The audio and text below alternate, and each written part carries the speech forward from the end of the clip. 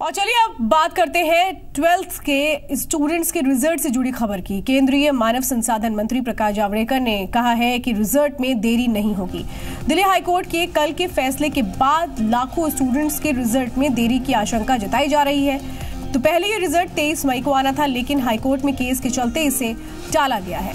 लेकिन ये कहा ज़रूर जा रहा है कि डिले नहीं होगा, बहुत ज़्यादा रिज़ल्ट चूँकि तेईस मई को आना था, लेकिन कल जब ये पूरा मामला कोर्ट में जिस तरह से रहा, उसके बाद ये लगा ये डिले होगा, लेकिन फ़िलहाल डिले नहीं होगा।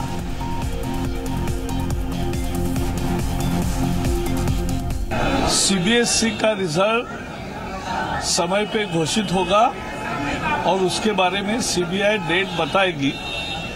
और मैं इतना ही कहूँगा, जो कोर्ट में से एक फैसला आया, उससे कोई चिंता की बात नहीं है। सबके साथ न्याय होगा और किसी को भी अन्याय नहीं होगा।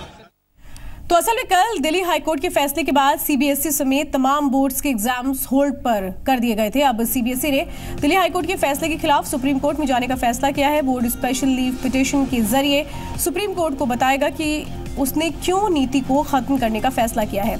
कल दिल्ली हाईकोर्ट ने ग्रेस मार्क देने की पुरानी व्यवस्था को खत्म करने वाली पॉलिसी पर रोक लगा दी थी, जिसके बाद सीबीएसई का रिज़ल्ट अनाउंस नहीं हो पाया।